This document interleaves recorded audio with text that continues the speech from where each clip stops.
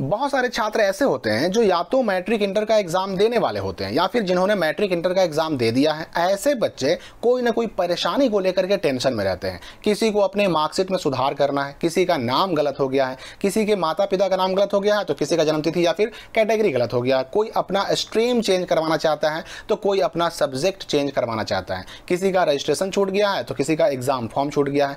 तो आखिर ये समस्या आती क्यों है? इसके पीछे कारण क्या है? कारण यह है कि समय से बोर्ड द्वारा जो डेट निकाला जाता है, उसकी जानकारी बच्चों को नहीं मिल पाती। जैसे जब सुधार का डेट निकाला जाता है, उस वक्त बच्चे सुधार नहीं करवा पाते। जब रजिस्ट्रेशन का डेट निकाला जाता है, उस वक्त बच्चे रजिस्ट्रेशन नहीं करवा पाते और जब एग्ज़ाम फॉर्म का डेट निकाला जाता है तो बच्चे फॉर्म नहीं भर पाते। या फिर समय रहते, सुधार करने का डेट रहते हुए सब्जेक्ट चेंज नहीं करवा पाते। लेकिन अब यह समस्या आपको नहीं होने वाली है, क्योंकि बिहार बोर्ड ने 2024 के मैट्रिक इंटर एग्ज़ाम को देने वाले छात्रों के लिए सभी चीज़ों का डेट एक ही बार घोषित कर दिया है। यानी कब कौन सा काम होगा, यह सब कुछ अब पहले से ही क्लियर हो चुका है। मतलब कि डमी रजिस्ट्रेशन कार्ड कब आएगा, सुधार कब से कब तक होगा, सब्जेक्ट चेंज कब से कब तक होगा, ओरिजिनल रजिस्ट्रेशन कार्ड कब आएगा, एग्ज़ाम फॉर्म कब से कब तक भरा जाएगा और सेंटअप एग्ज़ाम कब से कब तक होगा, सब कुछ का डेट पहले ही घोषित कर दिया गया है। तो इस वीडियो में मैं आपको सारी चीज़ों के डेट के साथ साथ तीन ऐसी बातें बताने वाला हूँ जिनका ध्यान मैट्रिक और इंटर के छात्रों को रखना बेहद ज़रूरी है। और अगर आपने इन तीन बातों का ध्यान रख लिया ना तो फिर आपको आगे कभी भी पछताना नहीं पड़ेगा।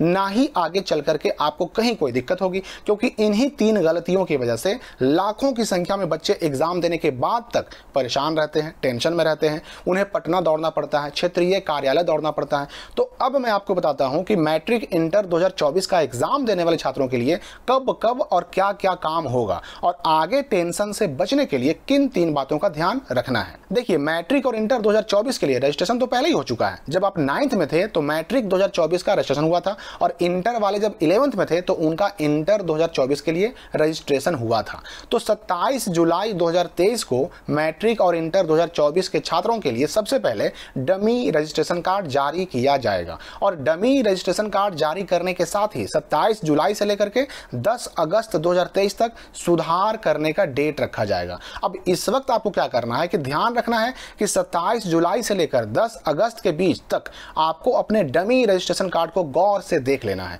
अगर डमी रजिस्ट्रेशन कार्ड में सब सही है तो कुछ नहीं करना है। लेकिन अगर उसमें कहीं कोई गलती है तो इस डेट के अंदर उसमें सुधार करवा लेना है। याद रखें कि यह सुधार आपके अपने स्कूल या कॉलेज से हो जाएगा, लेकिन अगर इस डेट के अंदर आपने सुधार नहीं करवाया तो फिर यही सुधार करवाने के लिए आपको एग्ज़ाम के बाद बिहार बोर्ड के ऑफ़िस दौड़ना पड़ेगा। फिर जब 10 अगस्त को डमी रजिस्ट्रेशन कार्ड में सुधार करवाने का डेट खत्म हो जाएगा, उसके बाद 23 अगस्त 2023 को मैट्रिक इंटर का फाइनल रजिस्ट्रेशन कार्ड जारी कर दिया जाएगा, जिसको कहते हैं मूल पंजीयन पत्र। और उसके ठीक दो दिन के बाद, यानी कि 25 अगस्त 2023 से मैट्रिक और इंटर दोनों के लिए 2024 के लिए एग्ज़ाम फॉर्म भरना शुरू कर दिया जाएगा। अब यहाँ पर ध्यान देना है दूसरी बात पर, कि एग्ज़ाम फॉर्म भरने के शुरुआत होने से कुछ ही दिन पहले छूटे हुए बच्चों का रजिस्ट्रेशन डेट भी आता है।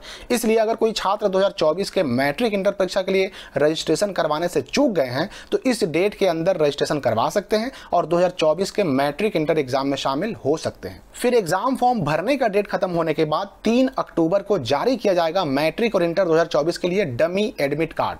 और इस समय फिर से सुधार कराने का एक बार फिर मौका दिया जाएगा। यानी अगर आपका नाम, पिता का नाम, माता का नाम, date of birth, category, subject आदि में कोई गलती हो गया हो तो सुधार करवा सकते हैं। डमी एडमिट कार्ड में सुधार का काम जो चलेगा, वो 17 अक्टूबर 2023 तक चलेगा। यानी कि 3 अक्टूबर से लेकर के 17 अक्टूबर 2023 तक डमी एडमिट कार्ड में सुधार होगा। और ये सुधार भी होगा आपके अपने ही स्कूल से या फिर कॉलेज से। इसके बाद स्कूल में होगा आपका आखिरी एग्ज़ाम, यानी कि सेंटअप एग्ज़ाम। इंटर का सेंटअप एग्ज़ाम होगा 11 अक्टूबर से लेकर के 21 अक्टूबर 2023 तक, और मैट्रिक का सेंटअप एग्ज़ाम होगा 16 नवंबर से लेकर के 25 नवंबर 2023 तक। अब यहाँ पर ध्यान देना है आपको तीसरी बात पर कि सेंटअप एग्ज़ाम में आपको शामिल ज़रूर होना है, क्योंकि सेंटअप एग्ज़ाम में शामिल नहीं होने पर आपको फाइनल एग्ज़ाम, जो कि फरवरी में होता है, उसमें शामिल होने से रोका जा सकता है। यहाँ तक कि आपका एडमिट कार्ड भी, फाइनल एडमिट कार्ड भी रोका जा सकता है।